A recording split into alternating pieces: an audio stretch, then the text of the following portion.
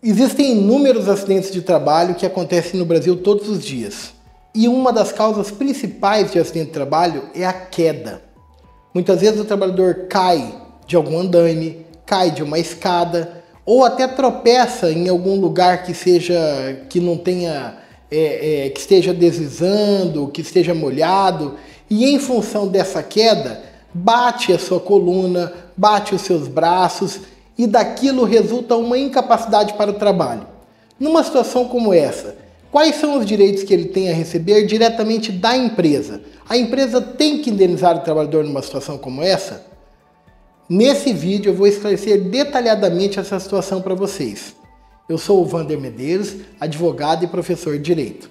Como eu já disse em vídeos anteriores, o que assegura aos trabalhadores o recebimento de uma indenização da empresa é a Constituição Federal o artigo 7 inciso 28, que diz que a empresa é responsável quando ela tiver concorrido com culpa para o acidente.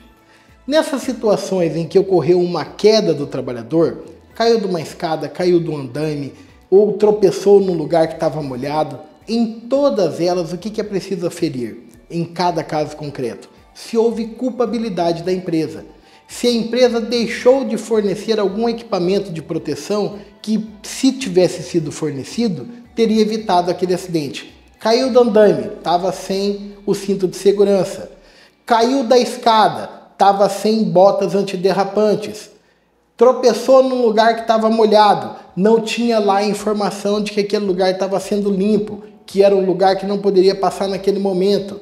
Então, em cada situação precisa ferir se a empresa teve algum tipo de responsabilidade, alguma culpa para que a sua ação ou a sua inação, deixar de fazer o que tinha que fazer, foi causa daquele acidente de trabalho.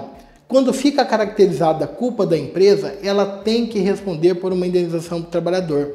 E se esse trabalhador ficar absolutamente incapaz para o trabalho, ele vai receber além da indenização por danos morais, já que qualquer acidente de trabalho que incapacita o trabalhador, presume-se que aquilo abalou a sua moral, abalou a sua integridade psicológica, além dessa indenização por indenização por danos morais, o trabalhador também terá direito a receber uma pensão mensal vitalícia, na proporção da sua incapacidade que ficar constatada.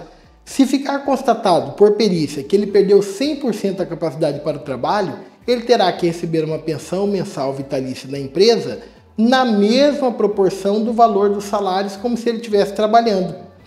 Nesses casos, o que é preciso ser feito? Procurar um advogado da sua confiança, porque é ele que vai ter a segurança de olhar para a sua situação concreta e te dizer: olha, de fato aqui teve culpa da empresa, de fato aqui dá para pedir uma indenização, e provavelmente ele, sabendo como é que se opera o direito, vai propor a ação para reivindicar o melhor, o melhor atendimento dos seus direitos. Então, procure sempre um advogado da sua confiança para sanar melhor essas dúvidas em situações como essa.